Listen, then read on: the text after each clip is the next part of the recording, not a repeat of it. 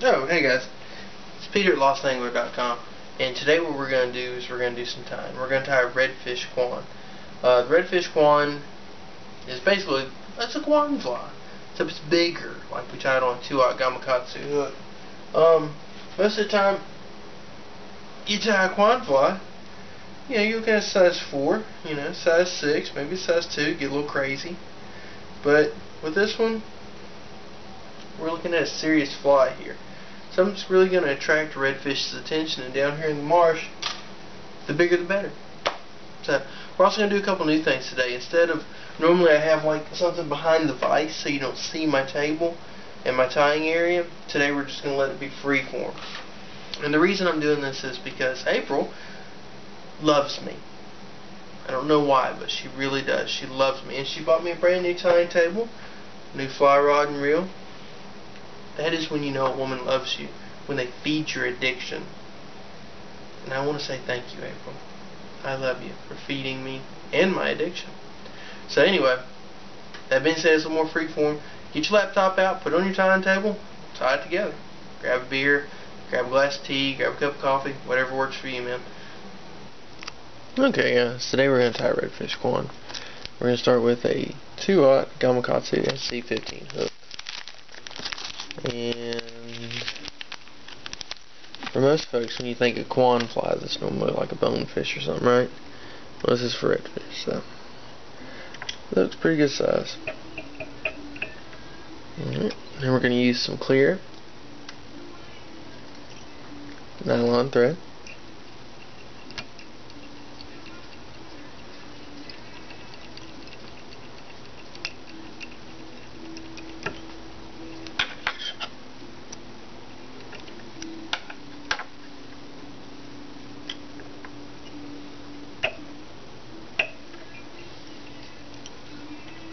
This hook a little bit.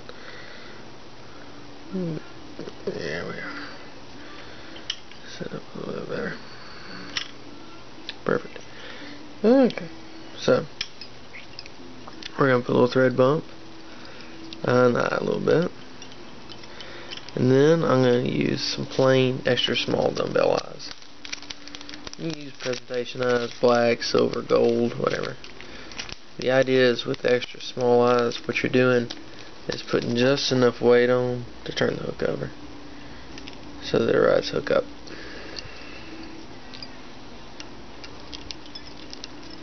You can do it flush with the eye of the hook if you want to. I leave myself a little bit of a gap so if I want to later on I can add a weed guard and uh,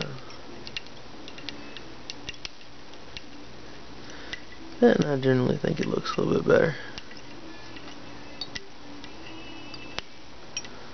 Alright, perfect. So that's on there real good. Got a figure eight it on. I'm gonna hit it with a little bit of Loon.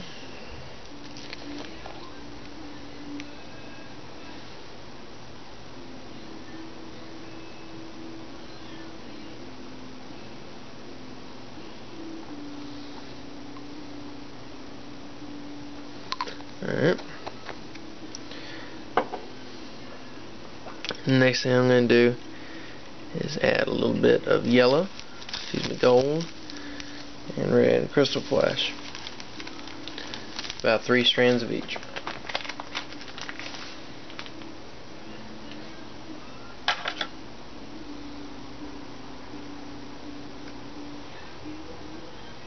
Now the red is a color that naturally draws the eye, so it can overpower the gold. So you might want to add extra gold. So I've got the gold right here.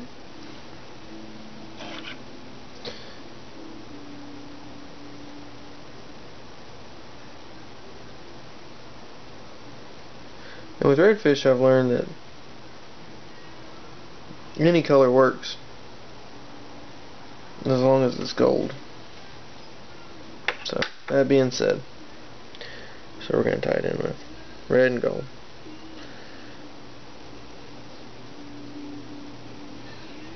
Alright, we're going to take it, double it over. I've kind of got them pulled in such a way that they're all a little bit uneven. We'll trim it all up later, so don't even worry about it right now. So that's on there. Next thing we're going to add is some tan craft fur. A little bit of tan craft fur. This is the uh, extra select. The extra select just gives you a little bit longer fibers to work with. Alright. One thing I've learned about craft fur is that it's a lot like deer hair in that it's got some guard fiber. So just kind of hold it right about here and pull it out. Boom. Alright, then come to the very end pull out the ones that are just a little bit too long. And that'll give me a nice even tuft of craft fur. Now I'm going to tie it on. Just like so. Trim off my excess.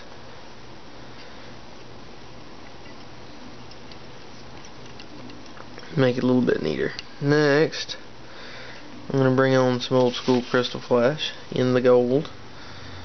Right here. The reason I'm using the crystal flash is that when I'm putting it into craft fur and other you know synthetic hairs or in feathers it really seems to flow in a natural fashion with it. So I'm going to take it. Give myself a little bit of room. Double over. And tie it in. Perfect.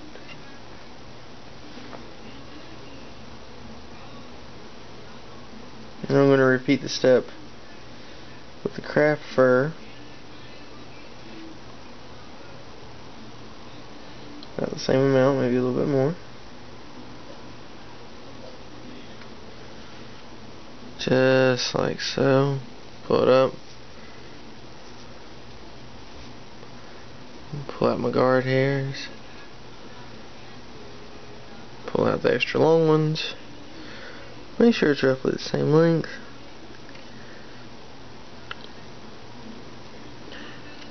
And nail it down.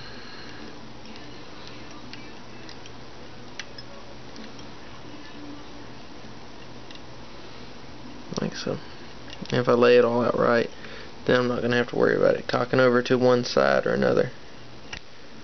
Trim off my excess. Good to go. Now all your flash and fibers is all extra long right now.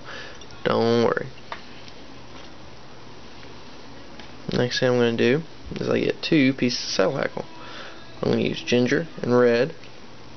And to give a little bit of extra love, I'm going to tie in some polars, some uh, Palmer chenille.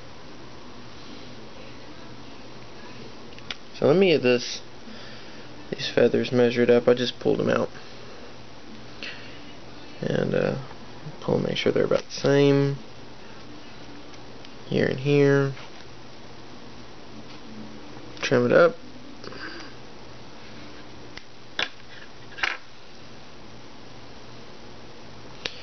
You're going to want to tie it in from the back.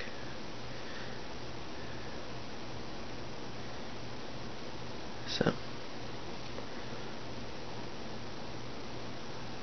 just like so. Make sure they're matching up. Length for length. Doesn't have to be perfect. Then I'll pull pull the fibers back. Like so. Pull it back. And this is the part I'm going to tie in. This part's on the front. Just like so Hmm, alright I'm just going to nail these pieces down here in the front. Then I'm going to pull in my Palmer chenille like so. Flush that up. And the reason I'm tying in the Palmer chenille is that down here I found that here in Mobile conditions where the water's really and truly clear enough for sight fishing are not nearly as often as we'd like. And sometimes it's shallow enough that I can just see the redfish. And I think that extra flash, it may not always be the exact trigger mechanism for the fish, but they can't eat what they can't see. I got this on here. I'm palmer it around. The trick, while you're palmering, just be steadily pulling everything backwards. Steadily pull it around backwards as you go.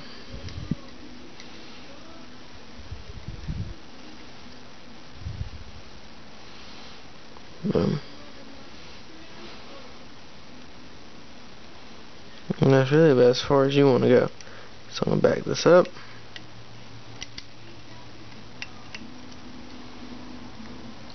And nail it down.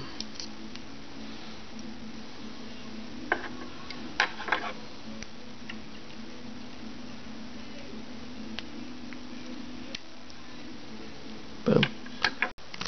Alright. And bring it on up. Kind of tie it back a little bit.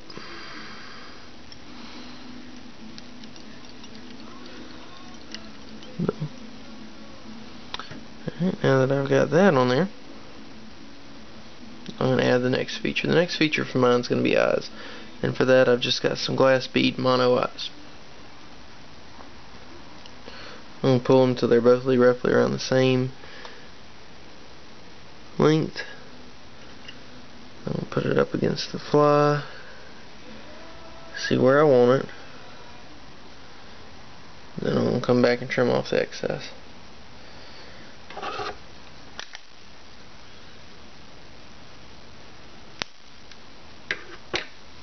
Because it's pretty tough to trim once it's on, on the fly. And I'm just going to let the natural curvature of the mono help me out here.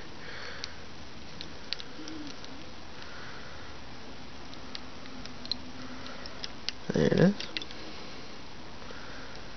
Very nice. Alright. I'm going to go back over it one more time with some gold flash. That's going to help me cover up all that stuff I've just tied onto the hook shank.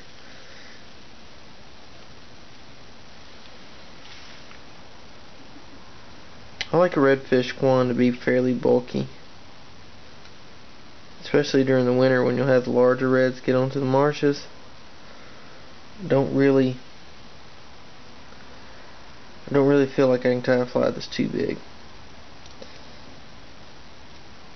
I think a lot of times, especially down here, we get the impression from watching the fishing shows, you know, watching the guys throwing these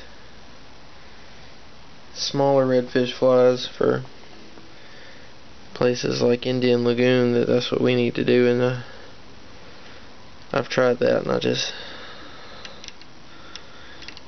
I haven't found that to be the most successful thing for me. Don't get me wrong, I've caught fish using smaller flies or what I call Florida flies but it's up to you.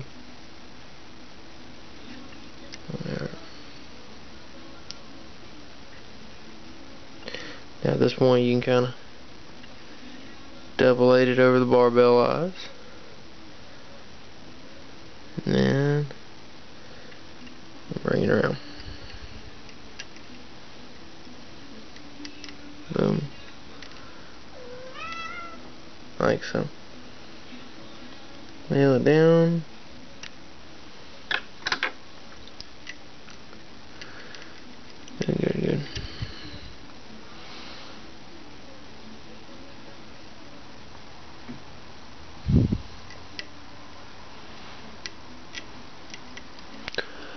We're going to go back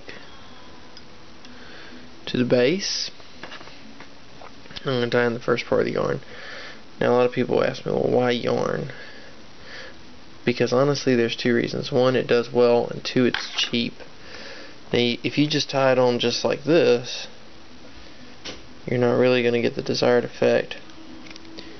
So you have to tie it on, then comb it out. So just notice I'm just folding it over, cutting it up, folding it over, cutting it up.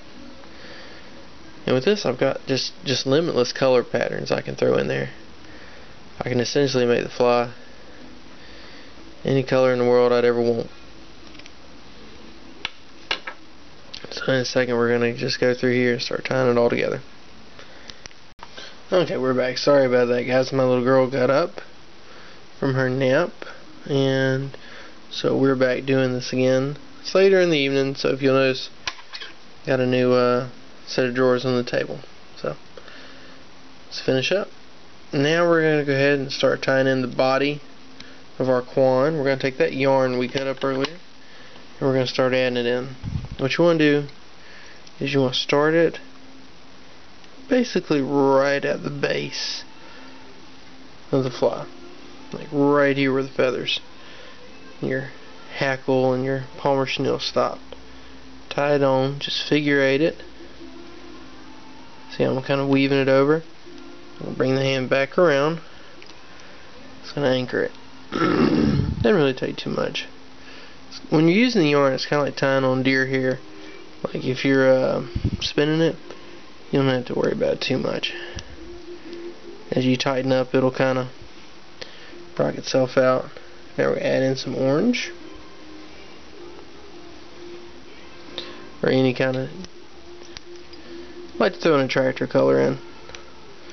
For me, orange has always been a good one. So, throwing in a little bit of orange.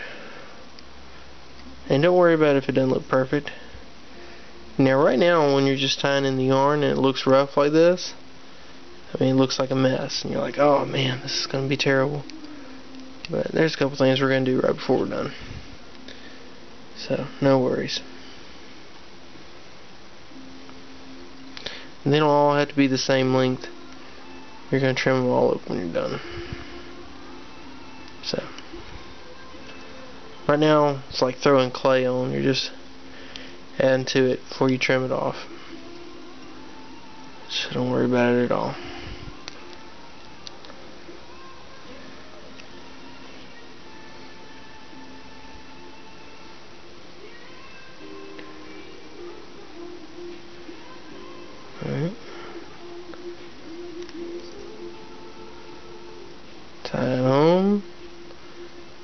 The other part.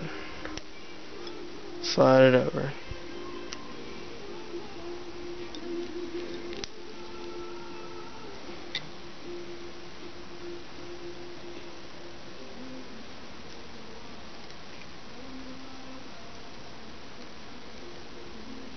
Okay. Figure eight last part. And you're good to go.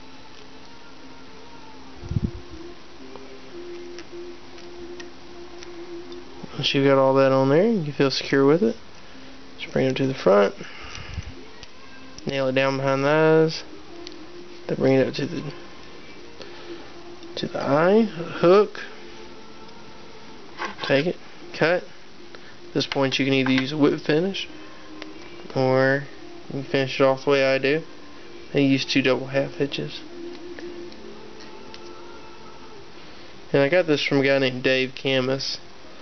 He's got a YouTube channel you can check out. He ties a lot of good traditional English flies. So, to me it's a nice, quick, easy way to tie. It doesn't matter how you tie it off. You can just take a little bit of super glue in there to be honest with you. It'll do just fine. Boom. Alright. So now you got that. So I'm going to reset. I'm going to turn the fly so you can see I trim it. And I'm going to go get that redone. Give me just a second. Alright, so we got turned. All you're going to do is take it now. Pull the yarn. Trim to the desired level.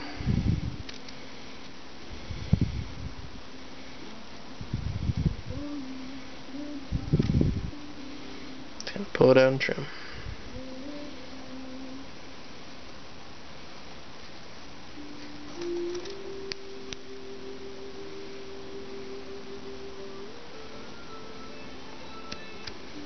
Mm-hmm. once you got it out roughly where you like it.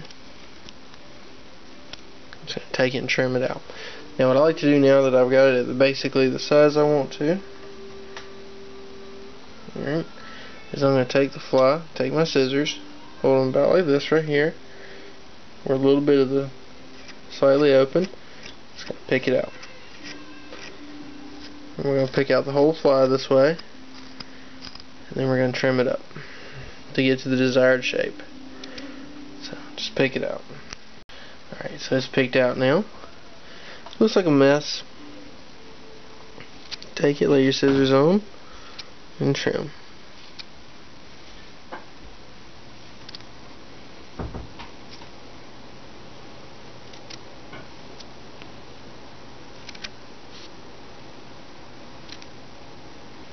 Trim, trim, trim, trim, trim. Let me trim it. When we're done trimming, I'll show you the end result. Alright, now that we got that done, grab a little bit of Loon excess. Boom, boom, boom. Right down the center line. Loon's not going to distort, distort the color any. It's perfectly non-toxic, so if the kids get into it, it's not a big deal. Which if you're like me, you never know when your rugrats are going to get into something. So, plus it really helps. Helps a lot of your color pop. So boom, boom, boom, boom, boom. Good to go right there. Looks sharp. Now for the last little bit, last thing we're going to do is we're going to put a few striations on it, then we'll just trim out the flash. Make it look a little more orderly. We're good to go. I'm going to do orange. I'm gonna do brown.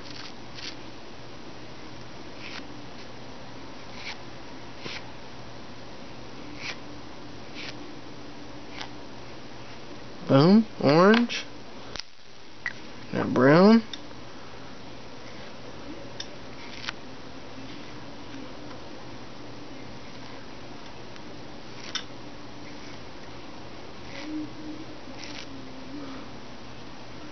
Boom.